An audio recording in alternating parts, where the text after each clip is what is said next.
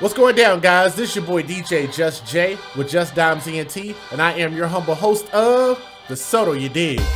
We'd like to welcome you guys here to the show. We'd like to thank you guys for being here. It is a great honor and a great pleasure to be able to bring you guys this show. TRU, y'all make sure hit them TRUs in the chat, man. Love you guys so much.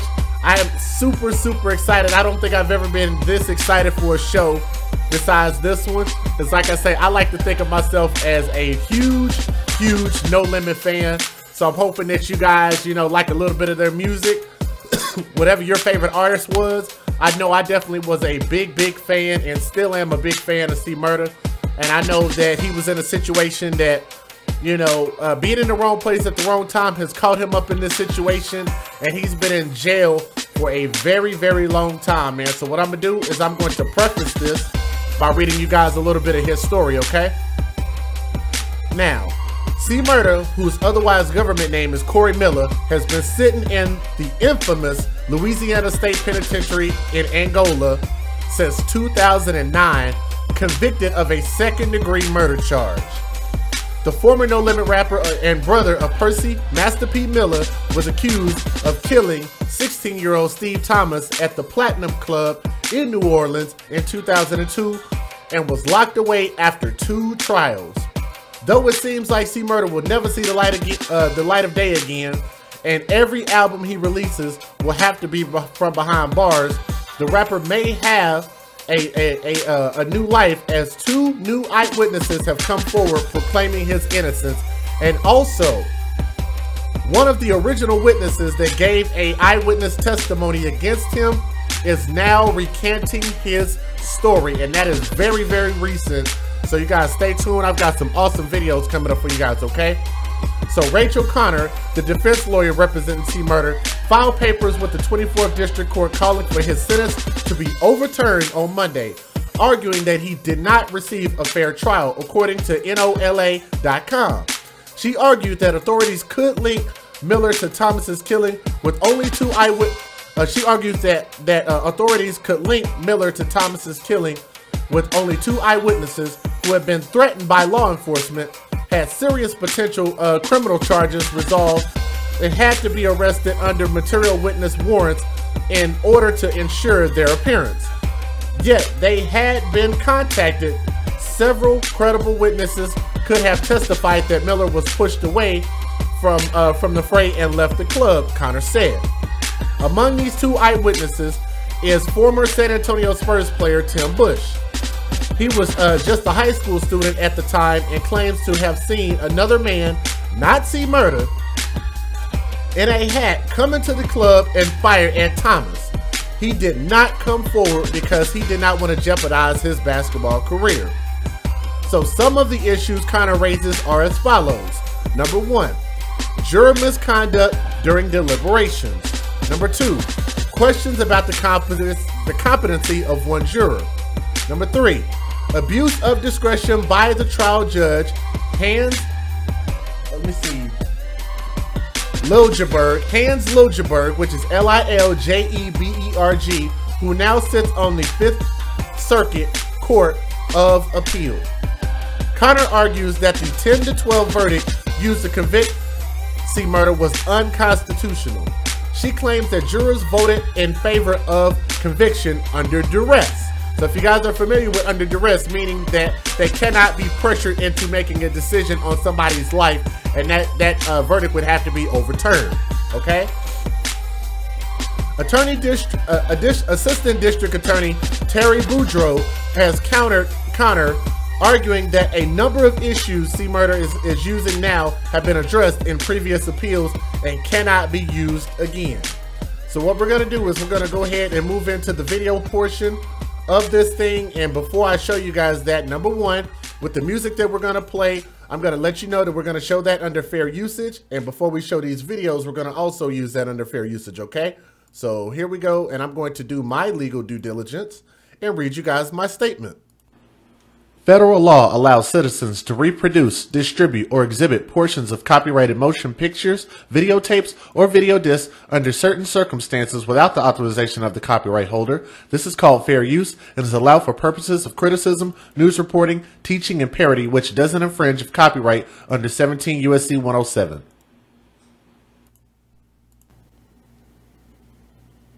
Two key witnesses that identified New Orleans rapper Corey C. Murder Miller as the shooter in a 2002 nightclub killing, and Harvey is now recanting his testimony. Now, the witness now claims he was pressured by detectives to ID Miller and that investigators told him what to say. Paul Murphy joins us from the Jefferson Parish Courthouse with the story. Paul? Karen Ton, rapper C. Murder is now serving a life sentence for murdering a teenage fan at a now closed Harvey nightclub. Corey Miller, which is his real name, is now asking judges here at the JP courthouse to throw out the conviction based on the fact that a key prosecution witness now swears that he lied on the stand. Kenneth Jordan is one of two witnesses who testified that Corey C. Murder Miller shot and killed a teenager during a nightclub brawl at the Platinum Club in Harvey 16 years ago. A Jefferson Parish jury found Miller guilty of killing 16 year old Steve Thomas in 2009. A judge sentenced him to life in prison. This week, Miller's attorney Paul Barker filed a memorandum in Jefferson Parish District Court claiming Jordan is now recanting his testimony. He felt threatened and pressured to give testimony that was being fed to him. According to an affidavit, Jordan now claims that the person he saw commit the shooting was not Corey Miller.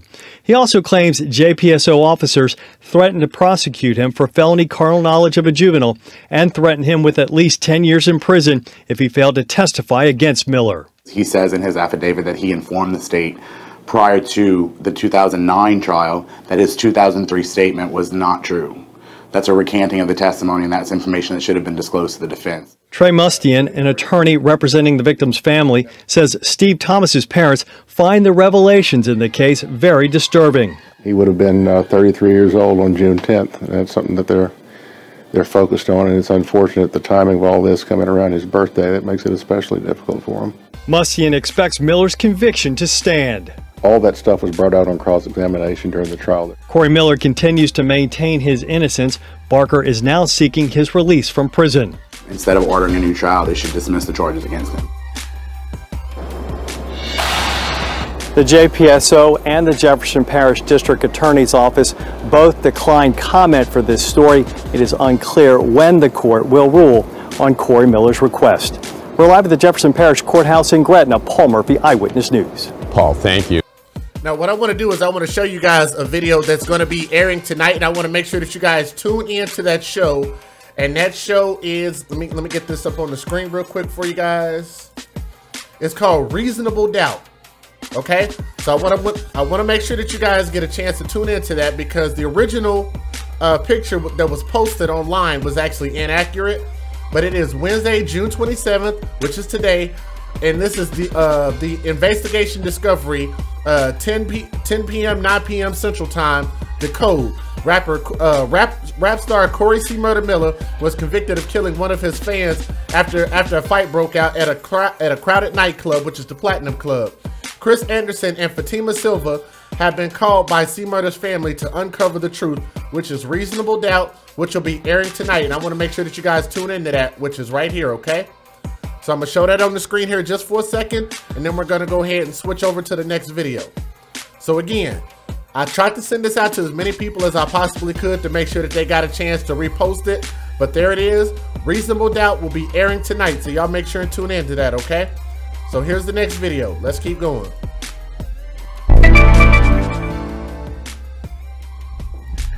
I mean, you pull a big fish, you bring on a child, you're gonna make the news, you can upgrade your career. Simple as that. That doesn't resonate very well with me, Corey. I mean, I got to be honest okay, with you. I know that don't have to resonate. You're probably not going to believe my story, but my story is my story. Right. Now, let me ask you this. There were a couple of witnesses who identified you as the shooter. So what about those witnesses? They were just making stuff up. You know, 15 minutes of fame. That night of the shoot, nobody mentioned my name at all. Right. All these people know me. They know my face. Right. Know who I am. If that would have been me, I shot this dude. They'd have told them people as soon as they walked in the door that I did. Do you know who shot the guy? No, we don't know who shot the guy. Okay. So what about this the, the Juan Flowers? Let me tell you something about me. You ain't gonna never hear nothing come out my mouth pointing the finger at nobody else. Not even to save my own soul.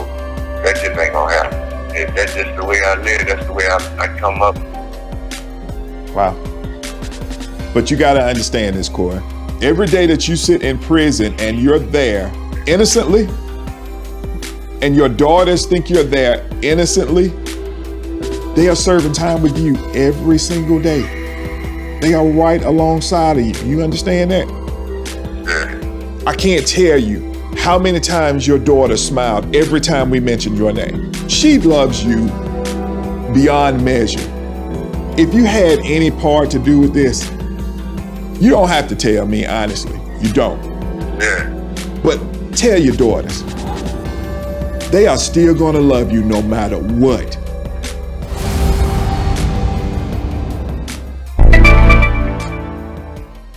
As a reminder, guys, that's going to I be mean, airing tonight. You pull a big fish, you bring on a child, you're gonna make the news, you can upgrade your career.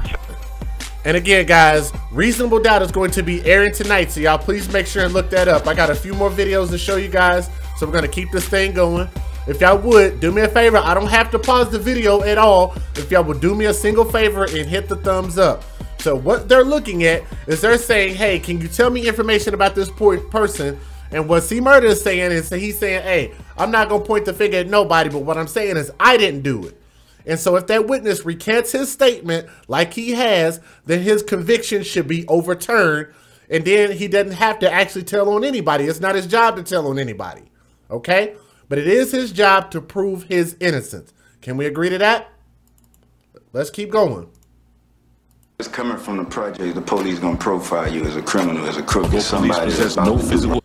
Now, what I want to do is I wanted to play one of his tracks here real quick. I wanted y'all to hear this. And this is actually from uh, one of his albums that came out. So let me uh, play this for you real quick. This is an intro from one of his albums. Coming from the project. The police gonna profile you as a criminal, as a crook, as Police somebody possess no physical evidence connecting him to the crime. The evidence that they had to uh, lock me up was nothing. There's no evidence, no forensics, no ballistics, no gun, no nothing. Corey waits on his next day in court. But he wonders if it will be his turn in court or if once again it will be C Murder and all of hip hop on trial. They're trying to stop us all together. I mean, is it a bigger picture? Is it some? This is the first step to something you're trying to do to us in the future? Maybe end it. You know, you gotta start thinking like that because look, it's real out here.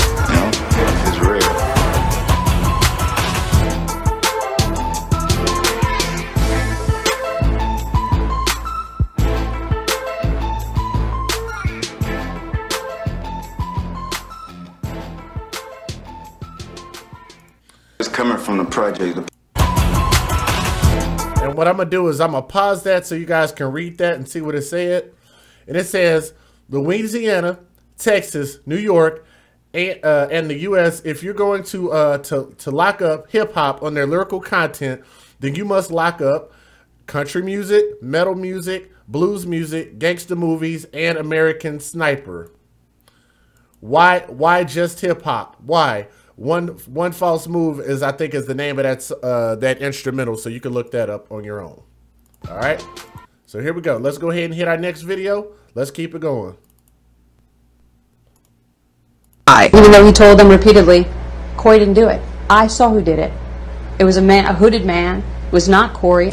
This signed affidavit from the witness, Kenneth Jordan, breaks it all down. So it states he was at the club when the shooting happened, but says, quote, I know that the individual who I saw shoot the gun was not Corey Miller. So, how is all of this connected? Well, according to the affidavit in 2003, Jordan was arrested after his newborn baby was found dead. Jordan said JPSO officers told him the only way he would get justice for his baby is if he, quote, agreed to cooperate and give them a statement implicating Corey. So, he did. The system used him because these cops were insistent that Corey had to do it. And now, years later, the affidavit says Jordan wants to right the wrong he made. We're just very thankful that even though it's a little late, it did eventually come to the surface and we're able to put it before the court. And I talked to the Jefferson Parish DA's office and they said they cannot comment on this case. Even though he told them repeatedly, Corey didn't do it. All right, let's go ahead and get the uh, next video up here. Here we go. Gonna keep going.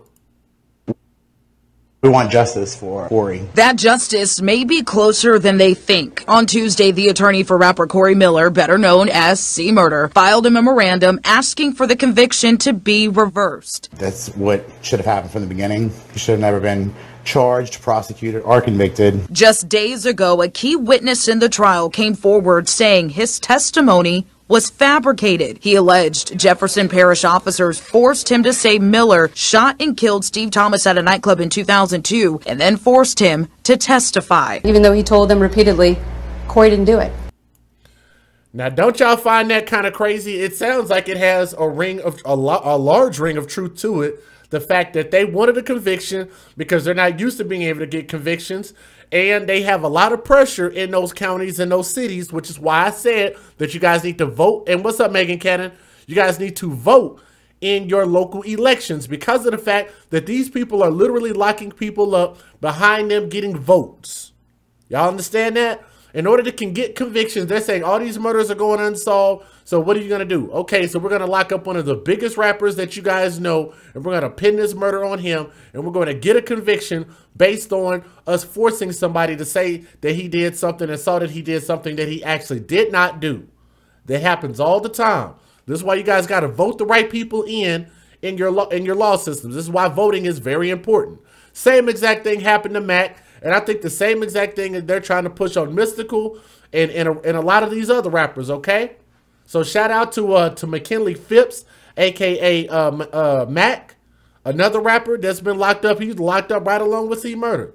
So we're gonna continue to push for their justice, okay? So if y'all would do me a favor, hit that thumbs up. We got about 305 people watching. If y'all would, please hit the thumbs up so other people can know that we're live. Shout out to Master P. Shout out to you know Romeo. Like I said, I told you guys before that he actually showed me some love on my Instagram. So shout out to Romeo. Shout out to Mia X who hit me up on Twitter, which was pretty dope. You know, shout out to uh, Mercedes who I talk to on Instagram from time to time. You know, shout out to um, you know to Reggie Nelly. I don't know if he's watching right now, but I hit him up, so shout out to him. You know, shout out to my guy Mr. Serv-On. I talk to him from time to time, so shout out to him. Man, and everybody No Limit related. Those are, you know, that's that's something that's close to my heart because I grew up on No Limit rap. I used to take every bit of little bit of extra money that I had to go buy No Limit albums. So shout out to those guys. Shout out to the family. Shout out to Silkk the Shocker. Shout out to all of them. Here's the next video. Hip hop is about poverty. It's about people's perception of their poverty and their struggle to get out of that poverty. It's a trophy. I mean, they want to send a message out to everybody.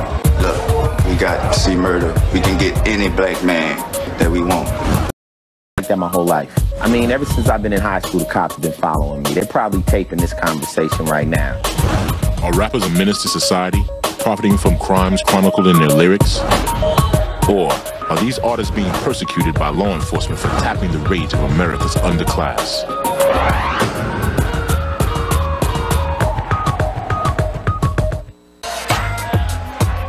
Meanwhile, in Louisiana, just 200 yards from the Mississippi River, in the jail cell that has been his home for nearly three years, Corey Miller sits waiting on a retrial for the murder of a 16-year-old boy in a nightclub shooting. This is Jefferson Parish Correctional Center. You know, they got me for a second-degree murder, something I didn't do. To many, Corey is not behind bars because he's a killer, but because he is the well-known rapper C Murder, infamous for his stark rhymes of violence and killing but you better play it smart. and your paw. My temper hot like Tom on the block, posted up with them things loaded up. If them people pull up and tell my boy to free, buckle up, knuckle up, screaming CP3. This man was demonized from literally the day he was arrested. The chief law enforcement officer of Jefferson Parish makes a statement to the police that this is a man who's living his name, C Murder. He's living his lyrics. But prosecutors say the stage name fits like a bloody glove. He's a killer. The verdict in the new trial will hinge on the jury's perception of who sits before them Corey Miller, artist, or C. Murder, homicidal thug. To have my name used against me since I've been arrested, you know, it hurt, you heard me, because it's like I'm guilty for I'm innocent. New Orleans and Miami are just two battlegrounds in what has become a war of values race does play a factor in a lot of these cases. You, you have prejudice in every department because people see these guys making a lot of money, driving a Mercedes Benz that they could work 20 years and never get. To some, the conflict is as much a class struggle as a racial one. Hip hop spits truth to power, and very often those in law enforcement represent uh, a protective force for those who are in power police would be focusing on hip hop like never before. One of the first to react.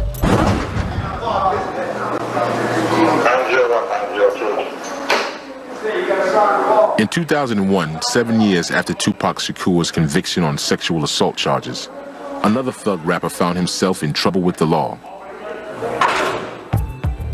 After nearly three years in Jefferson Parish Correctional Center, Corey Miller remains behind bars on charges of second-degree murder and the killing of a 16-year-old boy. This is happening to me because I'm first of all I'm C murder. And in New Orleans, that means many things to different people. The brother of rap superstar and mogul Master P, Miller carved his own niche in hip hop.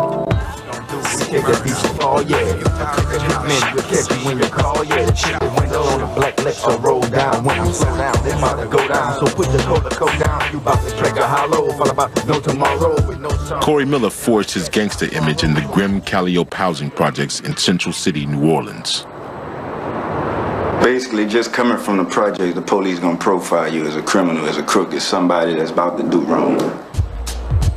On the night of January 12, 2002, Miller went to a rap contest at the Platinum Club in this empty bowling alley across the river from New Orleans. Night of this incident at the Platinum Club, I went to have some fun. I went to the club. There was an incident. There was a shooting. Steve Thomas, a 16-year-old who had sneaked into the club, was struck and killed. I had no part of it. Once the shooting happened, I left along with other hundred other people, you know and uh, and left, went about my business. Six days later, Miller was arrested for the murder, although police possessed no physical evidence connecting him to the crime. The evidence that they had to uh, lock me up was none. There's no evidence, no forensics, no ballistics, no gun, no nothing. No calls to the police reporting the murder were made at the time, and different witnesses recall vastly different characteristics when describing the shooter nor the suspects were pursued by police. Jefferson Parish police refused comment on the case. A name was given to the police as the person who had committed this murder.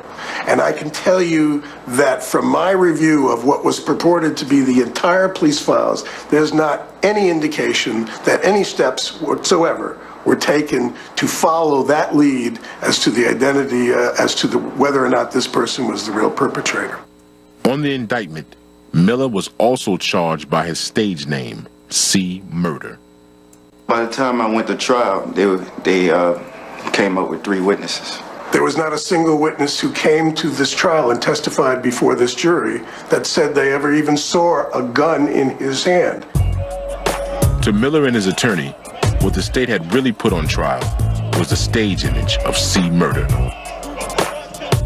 for me to be in a situation because my name is C Murder and I'm on a murder charge, you, you, you can't put both of them together and just off top assume that I'm guilty.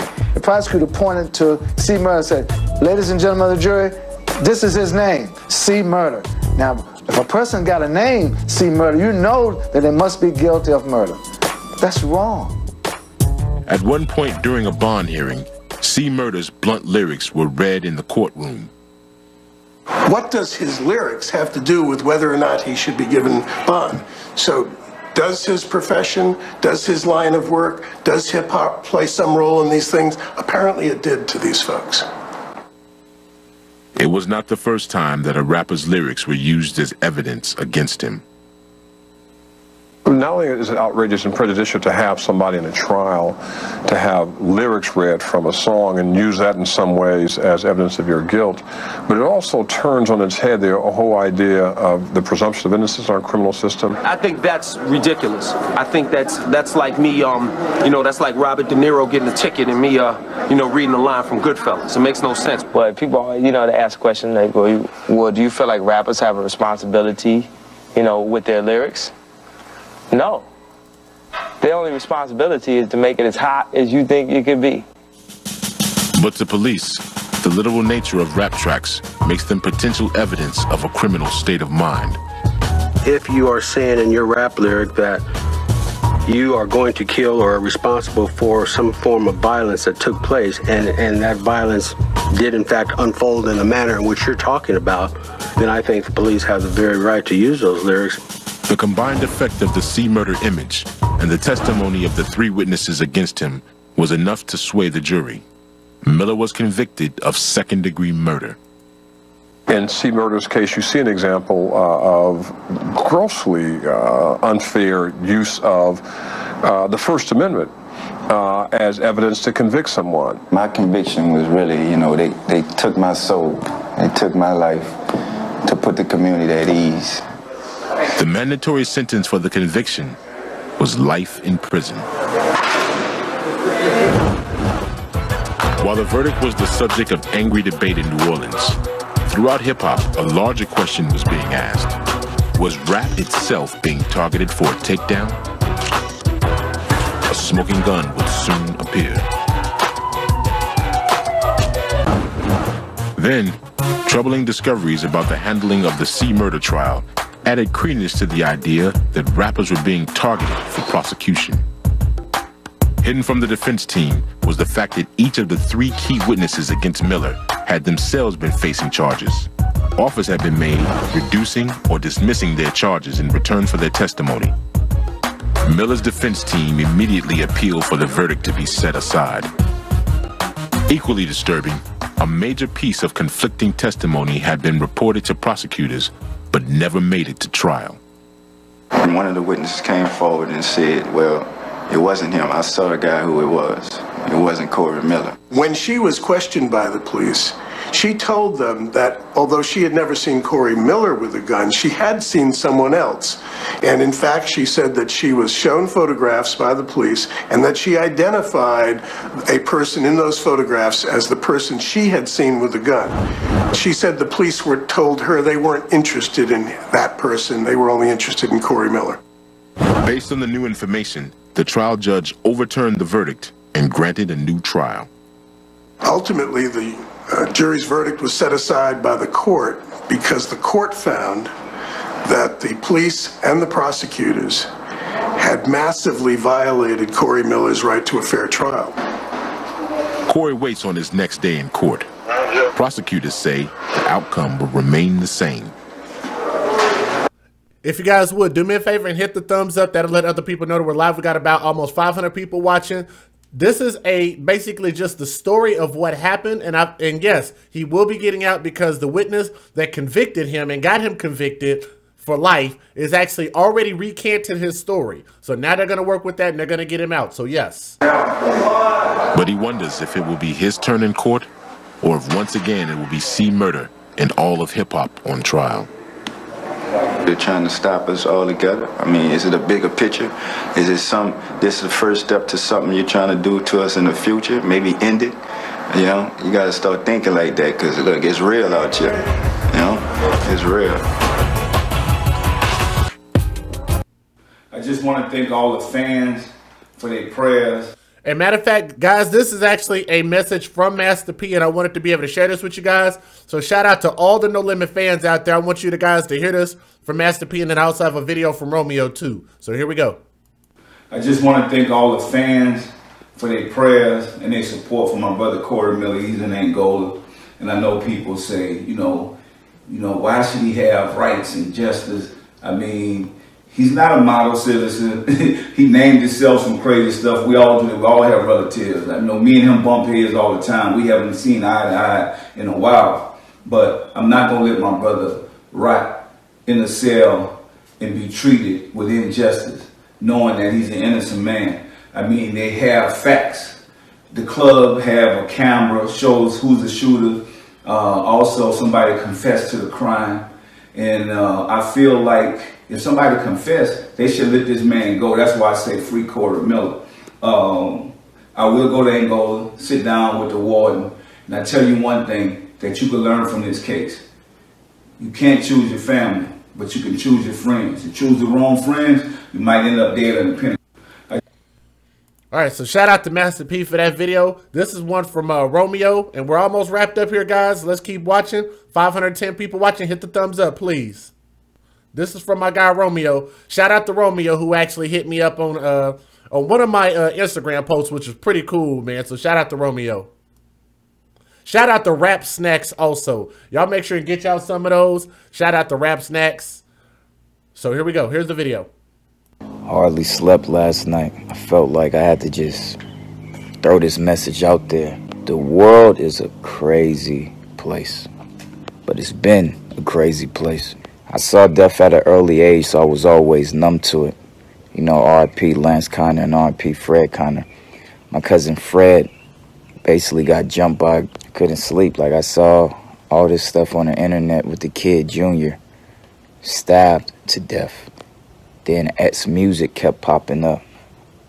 It's like our youth is dying from senseless crimes. I feel X was somebody who was misunderstood, but he had a, a purpose, right?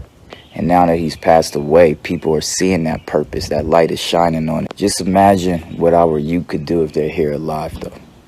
I just want to tell y'all, stay prayed up. Make sure you're living your best life. You just never know. And praying for all of those who lost somebody. Hardly. Once again, man, shout out to my guy Romeo. Um, I'm gonna show you. I'm gonna show y'all this real quick, and let me read this to you guys here just for a second. Hold on, hold on, hold on, hold on, hold on. Not that one. Let's show you. Uh, let's see. Hold on, hold on, hold on. Where's it at? Also, uh, C Murder and his team wanted to let you guys know to make sure that you tune in tonight, which is 62718, which is today. Be sure to turn into Investigation Discovery at 10 p.m., 9 p.m. Central Time and watch Reasonable Doubt. The code. You will soon realize why we have been saying C is innocent throughout all these years. It's time to send C back home to his family. Not guilty. Hashtag share, hashtag repost, hashtag tell a friend, hashtag watch uh, investigation discovery, hashtag the code tonight, hashtag free Corey Miller. Okay?